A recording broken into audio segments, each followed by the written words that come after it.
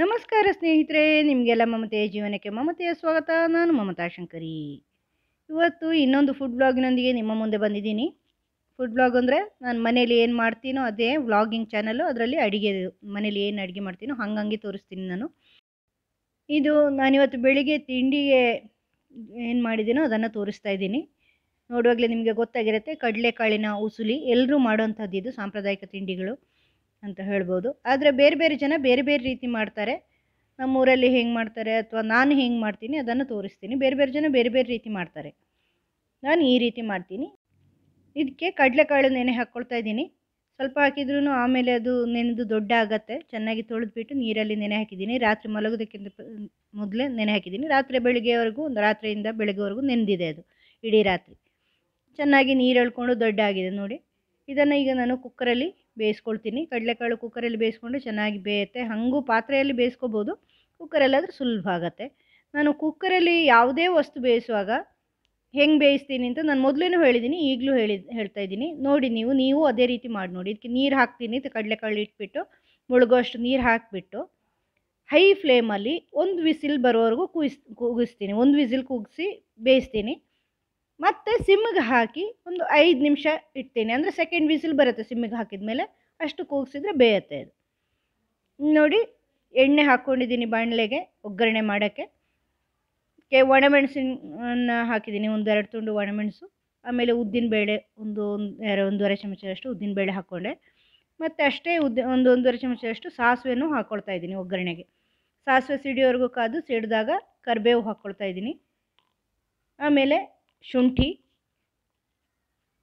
ಆಮೇಲೆ ಹಸಿಮೆಣಸಿನ್ಕಾಯಿ ಖಾರಕ್ಕೆ ನಿಮಗೆ ಎಷ್ಟು ಬೇಕೋ ಅಷ್ಟನ್ನು ಹಾಕ್ಕೋಬೋದು. ಸು, ಶುಂಠಿ ಸ್ವಲ್ಪ ಬಿಸಿ ಆದಮೇಲೆ ಹಸಿಮೆಣಸಿನ್ಕಾಯಿ ಹಾಕ್ಕೊಂಡಿದ್ದೀನಿ. ನಿಮ್ಮ ಬೇ ಜಾಸ್ತಿ ಬೇಕು ಅಂದರೆ ಜಾಸ್ತಿ ಹಾಕ್ಕೋಬೋದು. ನಾನು ಒಂದು ಹಸಿಮೆಣಸಿನ್ಕಾಯಿ ಹಾಕ್ಕೊಂಡಿದ್ದೀನಿ. ನಾವು ಅಷ್ಟೇ ಖಾರ ತಿನ್ನೋದು, ಕಡಿಮೆ ಖಾರ. ಈರುಳ್ಳಿ ಒಂದು ಈರುಳ್ಳಿಯನ್ನು ಚಿಕ್ಕದಾಗಿ ಹೆಚ್ಚಿಬಿಟ್ಟು ಹಾಕ್ಕೊಂಡಿದ್ದೀನಿ. ಅದನ್ನು ಬಾಡೋವರೆಗೂ ಸ್ವಲ್ಪ ಬಾಡಿಸ್ಕೋಬೇಕು. ಈರುಳ್ಳಿ ಚೆನ್ನಾಗಿ ಬಾಡ್ಕೋಬೇಕು. ಅದರಿಂದ ಸ್ವಲ್ಪ ಕೈಯಲ್ಲಿ ತಿರುಗಿಸ್ಕೋಬೇಕು. ತುಂಬ ಬೇಗ ಆಗುತ್ತೆ ಇದು ಮಾಡಿನೂ. ಉಪ್ಪು ಸೇರಿಸ್ಕೊಂಡೆ, ರುಚಿಗೆ ತಕ್ಕಷ್ಟು ಎಷ್ಟು ಬೇಕು ಅಂತ ನೋಡಿಕೊಂಡು, ಇಲ್ಲಿ ಈರುಳ್ಳಿಗೆ ಎಷ್ಟು ಬೇಕೋ ಅಷ್ಟು ಉಪ್ಪು ಹಾಕ್ಕೊಂಡ್ರೆ ಸಾಕಾಗತ್ತೆ. ಅರಿಶಿನ ಪುಡಿ ಒಂದು ಚಮಚ ಹಾಕ್ಕೊಂಡಿದ್ದೀನಿ ಇದಕ್ಕೆ ಈರುಳ್ಳಿಗೆ ಉಪ್ಪು ಹಾಕಿದರೆ ಏನಾಗುತ್ತೆ ಅಂದರೆ ಎಲ್ಲ ಚೆನ್ನಾಗಿ ಮಿಕ್ಸ್ ಆಗಿರುತ್ತೆ. ನೀವು ಯಾವುದೇ ವಸ್ತು ಈರುಳ್ಳಿ ಹಾಕಿ ಮಾಡೋ ಈ ಒಗ್ಗರಣೆಗಳಿರುತ್ತಲ್ವ, ಇದೆಲ್ಲ ಮಾಡುವಾಗ ಉಪ್ಪನ್ನು ಈರುಳ್ಳಿಗೆ ಹಾಕೋಬೇಕು. ಮುಂದೆ ಹಾಕೋ ಇದಕ್ಕಲ್ಲ ಈಗ ನೋಡಿ, ಉಪ್ಪು ಹಾಕಿ, ಅರಿಶಿನ ಪುಡಿ ಹಾಕಿ ಮಿಕ್ಸ್ ಮಾಡಿದ ಮೇಲೆ ಬೆಂದಿರೋ ಕಡಲೆಕಾಳನ್ನು ಹಾಕ್ತಾಯಿದ್ದೀನಿ ಚೆನ್ನಾಗಿ ಬೆಂದಿದೆ ಇದು. ನಾನು ನಿಮ್ಗೆ ತೋರಿಸಿಲ್ಲ, ತೋರಿಸ್ಬೇಕಾಗಿತ್ತು ಮಿಸ್ ಆಗೋಯ್ತು. ಚೆನ್ನಾಗಿ ಬೆಂದಿದೆ ಅದು. ಅಷ್ಟೇ ಮಾಡಿರೋದು ನಾನು. ಒಂದು ವಿಸಿಲು ಕೂಗಿಸಿ, ಸಿಮ್ಮಿಗೆ ಹಾಕಿ ಐದು ನಿಮಿಷ ಇಟ್ಟರೆ ಸಾಕು. ಅಥವಾ ನೀವು ಸೆಕೆಂಡ್ ವಿಸಿಲ್ ಸಿಮ್ಮಿಗೆ ಹಾಕಿ ವಿಸಿಲ್ ಬರುವಷ್ಟು ಹೊತ್ತು, ಒಂದು ವಿಸಿಲ್ ಬರುವಷ್ಟು ಹೊತ್ತು ಇಟ್ಕೊಂಡ್ರೆ ಸಾಕು. ಚೆನ್ನಾಗಿ ಬೇಯುತ್ತೆ ಅದು. ತುಂಬ ಮೂರು, ನಾಲ್ಕು ವಿಸಿಲ್ ಕೂಗಿಸ್ಬೇಕಾಗಿ ಬರಲ್ಲ. ಹೀಗೆ ಮಾಡಿದ್ರೂ ಸರಿಯಾಗಿ ಬೇಯುತ್ತೆ. ಈಗ ಚೆನ್ನಾಗಿ ಮಿಕ್ಸ್ ಮಾಡ್ಕೊಳ್ಳಿ ಒಂದು ಒಗ್ಗರಣೆಗೆ ಜೊತೆ. ಆಮೇಲೆ ಸ್ವಲ್ಪ ಹೊತ್ತು ಮುಚ್ಚಿಟ್ಟಿರಿ. ಸ್ವಲ್ಪ ನೀರು ಅದರ ಜ, ಬೆಂದ ನೀರಿರತ್ತಲ್ವ? ಸ್ವಲ್ಪ ನೀರನ್ನು ಇಟ್ಕೋಬೋದು, ಉಳ್ದಿದ್ದೆಲ್ಲ ನೀರು ಚೆಲ್ಲಬೇಕಾಗತ್ತೆ ಇಲ್ಲಾಂದರೆ ಕಡಿಮೆ ನೀರಲ್ಲಿ ಬೇಯಿಸಿದರೆ ಪೂರ್ತಿ ಹಾಕ್ಕೋಬೋದು. ನೀರು ಜಾಸ್ತಿ ಇದ್ದರೆ ಮಾತ್ರ ನೀರು ತೆಗೆದುಬಿಡಿ. ಈಗ ನೋಡಿ ಸ್ವಲ್ಪ ಹೊತ್ತು ಇಟ್ಟಿದ್ದೆ, ಅದು ಉಪ್ಪು, ಖಾರ ಎಲ್ಲ ಎಳ್ಕೊಳ್ಳೋಕ್ಕೆ ಎಳ್ಕೊಂಡಿದೆ. ನೀರೆಲ್ಲ ಆರು, ಹಿಂಗೆ ಹೋಗಿದೆ. ಈಗ ತೆಂಗಿನಕಾಯಿ ತುರಿ ಸ್ವಲ್ಪ ಹಾಕ್ಕೊಂಡೆ ನೋಡಿ, ಸ್ವಲ್ಪ ತೆಂಗಿನಕಾಯಿ ತುರಿ ಹಾಕಿ ಮಿಕ್ಸ್ ಮಾಡಿದರೆ ರುಚಿಯಾಗಿರುತ್ತೆ. ನೋಡಿ ನೀರೆಲ್ಲ ಹಿಂಗೆ ಹೋಗಿದೆ. ಸ್ವಲ್ಪ ನೀರಿಟ್ಟರೆ ಸಾಕು. ಯಾಕಂದರೆ ಉಪ್ಪು, ಖಾರ ಎಳೆಯುವಷ್ಟು ಹೊತ್ತು ನಾವು ಅದನ್ನು ಮುಚ್ಚಿ ಇಡಬೇಕಾಗತ್ತೆ ಒಂದು ಹತ್ತು ನಿಮಿಷ. ಈಗ ಇದ್ರ ಮೇಲೆ ಒಂದು ಸ್ವಲ್ಪ ಕೊತ್ತಂಬರಿ ಸೊಪ್ಪನ್ನು ಉದುರಿಸ್ಕೊಳ್ತಾ ಇದ್ದೀನಿ.